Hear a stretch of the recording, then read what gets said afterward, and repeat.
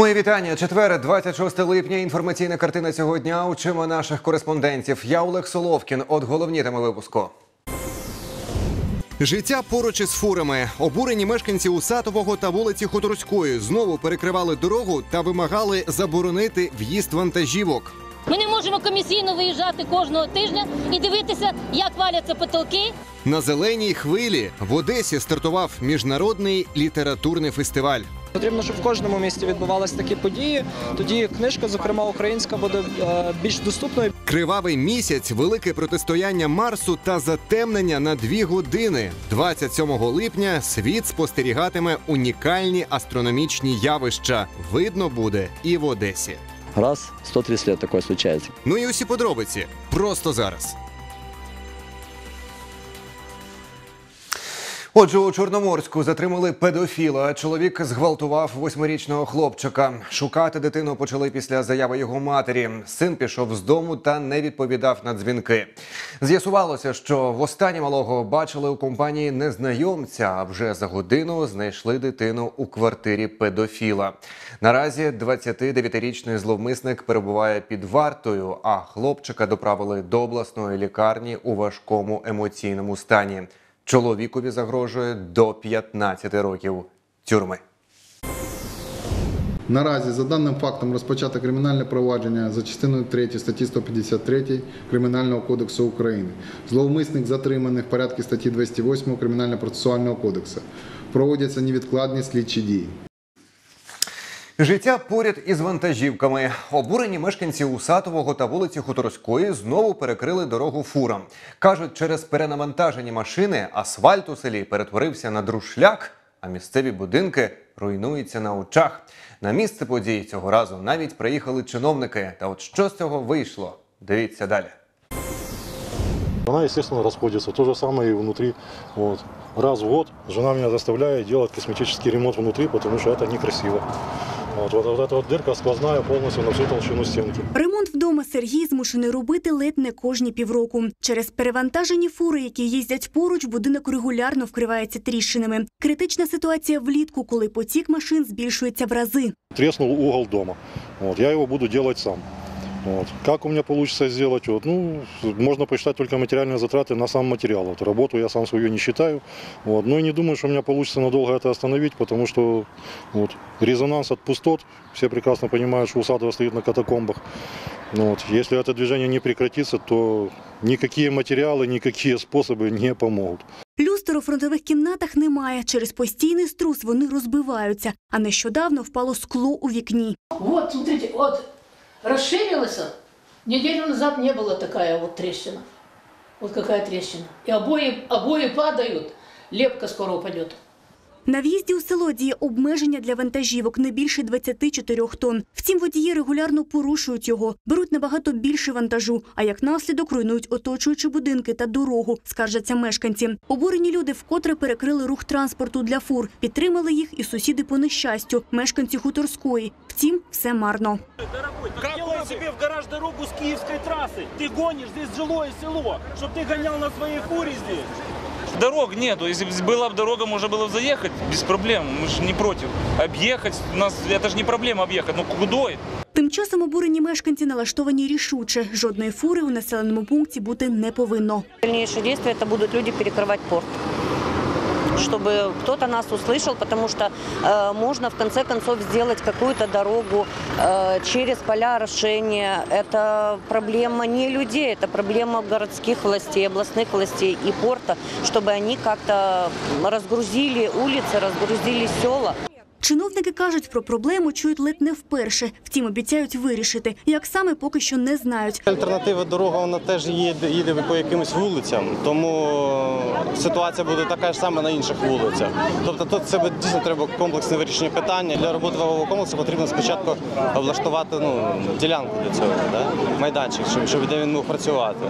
Тому це питання ми поставимо перед е, управлінням електробезпеки в Одеській області, щоб вони зробили цю площадку. Ну і далі, якщо щоб поставили тут ваговий контроль, робили. Ну, треба, треба, треба наводити порядок. На вирішення проблеми мешканці села Усатове дали чиновникам два тижні, після чого продовжать акції протесту. Втім, вже поряд з підприємствами, куди прямують фури. Валерія Наумова, Гліб Овчинніков, перший міський. Замість дерева залізобетон. Підрядник, який реставрує Воронцовську колонаду, прокоментував роботу важкої техніки, яку в ніч на 26 липня біля пам'ятки архітектури помітили громадські активісти. Вони побачили, як в антаблемент заливають бетон. Активісти вимагали зупинити процес та написали заяву у поліцію про початок робіт без дозволу. У свою чергу підрядник пояснив, що усі документи у нього на руках. А роботи полягали у заміні дерев'яних балок, що згнили на залізобетоні. Адже потрібного дерева для відновлення елементів в Україні не знайшлося. Оказалось, что необходимые балки деревянные по нашим требованиям, которые мы э, описывали в проекте, можно закупить только за границей, что кардинально влияет на выполнение работ, на график, на стоимость данного материала. Роботи розпочалися опівночі та тривали три години. Підрядник пояснив, робили це у темний час доби, оскільки будівельникам тільки ввечері надали необхідний дозвіл, а у постачальника знайшовся вільний транспорт. Важка техніка працюватиме на колонаді ще один раз, коли почнуть викладати плитку, адже один її шматок важить від півтори до 1800 кілограмів.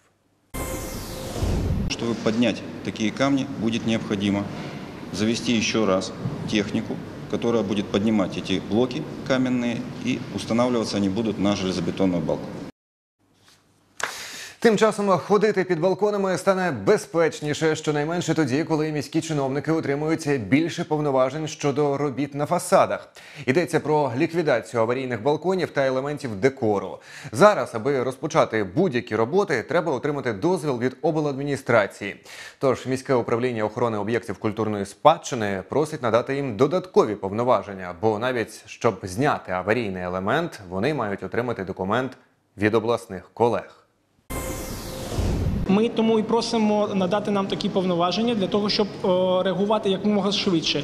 Е, Крім того, ми налагоджуємо спрощену процедуру отримання дозволів на е, в ОДА на ці роботи, що дозволить нам достатньо швидко знімати ці аварійні елементи для того, щоб уникнути травмування людей.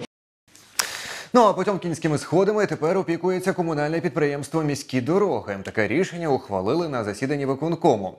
Раніше у пам'ятки архітектури національного значення не було офіційного балансу утримувача, тобто конкретної структури, яка б стежила за станом сходів та їх експлуатацією. Зазначу, КП міські дороги займається поточним чи капітальним ремонтом дорожнього покриття, а також благоустроєм певних територій.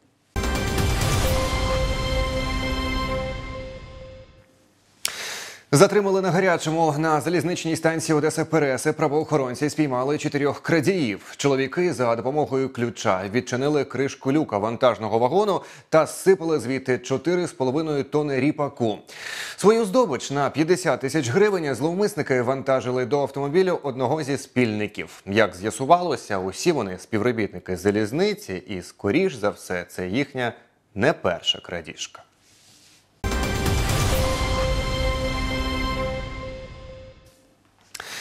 Певно, втомилися. Одеські народні депутати неохоче відвідують пленарні засідання Верховної Ради. За даними моніторингових громадських організацій, абсолютним рекордсменом з пропусків із грудня 2017 року по липень 2018 став Іван Фурсін. Його можна було побачити лише на кожному десятому засіданні. Друге місце антирейтингу посів Леонід Клімов. Він відвідував лише кожне п'яте зібрання. А от Олександр Пресман, Олександр Урбанський, Віталій Барвіненко та Едуард Матвійчук загалом прогуляли більше половини засідань. Если народный депутат не посещает заседания парламента систематически, не э, выступает по сути принимаемых законопроектов, то получается, что он э, не представляет наши, наши интересы не представлены. Також активісти порахували, що 12 з 16 народних депутатів Верховної Ради від Одеської області мають вищі показники відвідування за електронною реєстрацією ніж за письмовою. Тобто вони або ігнорують регламент, або їх картки використовують інші депутати. Щодо безпосередньої роботи одеських народних обранців, то за півроку вони загалом зареєстрували 57 законопроєктів, та лише три з них стосуються проблем саме нашого регіону. Також варто відзначити, що із 57 законопроєктів е, проголосований, тобто народні депутати підтримали лише один законопроєкт, е, серед співавторів якого є е, Сергій Феєрмарк. В Одесі обговорили основні напрями та перспективи взаємодії з ЮНІСЕФ на конференції розвиток системи муніципалітетів, дружніх до дітей та молоді зібралися представники місцевої влади, різних фондів, а також міжнародних та громадських організацій.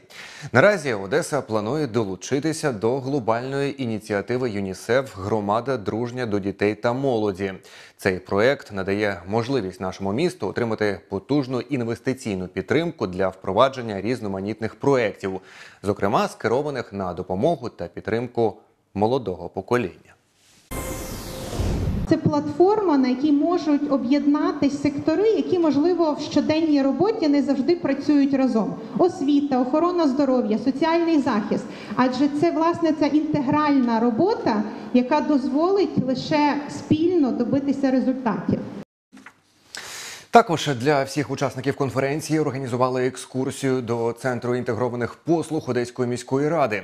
Організатори заходу наголошують, що Одеса стала одним з перших міст країни, де вже взяли на озброєння принципи міжнародної організації ЮНІСЕФ захисту дітей, але інтеграція ще триває. Мы первые подписали меморандум 24 июля с ЮНИСЕФ о э, работе в этом направлении и надеемся, что э, те планы, которые есть у нас, мы их реализуем. И это даст нам возможность стать уже не кандидатами в громаду дружественную для детей, а стать потенциальными громадами, которые дружественны для детей и молодежи. В Одесі стартував 22-й міжнародний літературний фестиваль Зелена хвиля. Протягом чотирьох днів для гостей проведуть близько 40 презентацій та майстер-класів. Організатори кажуть, ця зелена хвиля буде особливою, адже до нашого міста завітають письменники та журналісти з усього світу. Традиційно гості зможуть придбати літературу за цінами від виробника. Чим дивуватимуть книгоманів цього року, розкаже Марина Барма. Еля прийшла на літературний фестиваль Зелена хвиля разом із подругою. Каже, тут можна знайти книги, які складно придбати не лише в книгарнях, а й навіть в інтернеті. А Я купила одну книгу, которую очень давно искала и не могла ее найти ни в одном книжном и ни в интернет-магазине. И здесь я ее нашла, я очень рада. Еще у меня сейчас задача купить две книги. Раніше зелена хвиля проходила на Дерибасівській. Втім, цьогоріч книголюбів збирають в зеленому театрі. Організатори розповідають, 12-й фестиваль стане особливим. Перш за все, через велику кількість гостей з усього світу. К нам приехали э, литераторы, писатели, поэты, журналисты, к- э, литературные критики из э, Америки, Германии, Великобритании, э, Швеции. И я уверена, что каждый из них будет интересен для одесситов. На фестивалі свою продукцію представляють кілька десятків видавництв. Переважна більшість українські, проте серед них можна натрапити й на книги турецького виробництва. Їх до Одеси вже вдруге привозить Зуфар. Каже, література допоможе подолати стереотипи щодо ісламу. Без такой пропаганды, что говорит исламский терроризм или экстремизм, нет. Ислам к этому, конечно, не призывает. Основной цель наша, чтобы э, объяснить людям через эти книги, что как мусульмане соблюдают повеление Бога. У день відкриття фестивалю згадували українського письменника Івана Драча, який місяць тому пішов із життя. На літературній сцені презентували останню поетичну книгу митця Дожити до Соловейка та прози Золотий цап. Проза у Драча це щось. У нього і вірші щось, а проза це, це, це неймовірно. Це, це як кіно дивишся, читаєш, ти перебуваєш в центрі тих подій. Це а, повна стереофонія. Ти чуєш, бачиш. Для гостей фестивалю організатори підготували понад 40 презентацій, майстер-класи, а для малечіх конкурси та ігри. Втім, більшість відвідувачів і великих, і маленьких сюди приходять за книгами. Потрібно, щоб в кожному місті відбувалися такі події. Тоді книжка, зокрема українська, буде е, більш доступною, більш популярною. А це і е, самосвіта людей, якийсь саморозвиток і розвиток української мови. Літературний фестиваль Зелена хвиля в зеленому театрі триватиме протягом чотирьох днів. Усі книги тут можна придбати за спеціальною ціною від виробника. Марина Барба та Олексій Барановський, перший міський.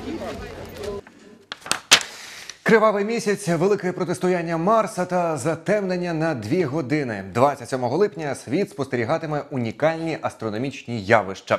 Фахівці кажуть, таке трапляється раз на 130 років. Незвичайне затемнення можна буде побачити і в Одесі. У міській обсерваторії підготували ціле свято. На гостей очікують цікаві лекції, а поспостерігати за унікальним явищем можна буде за допомогою телескопу. Тож, що саме побачать одесити та коли дивитися в небо, знає Олександра Ченко Повне місячне затемнення відбувається, коли супутник Землі потрапляє в її тінь. Вчені кажуть, цієї п'ятниці воно буде найдовшим у цьому столітті близько двох годин. Усе через те, що місяць пройде через центр земної тіні. До того ж, затемнення буде не просто повним, а також й кривавим. Но так как Земля имеет атмосферу, то Луна освещена при этом э, солнечным светом, прошедшим через атмосферу.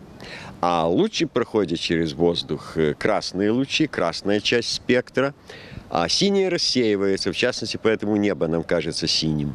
У цей день можна буде спостерігати ще одне незвичне явище велике протистояння Марсу. Тобто, одночасно із повним місячним затемненням червона планета максимально наблизиться до Землі. Астрономи кажуть, такі співпадіння трапляються раз на 130 років. Марс подойдет к Земле на минимальное расстояние, 58 миллионов километров, и он будет располагаться недалеко от Луны, на расстоянии всего лишь 10 градусов.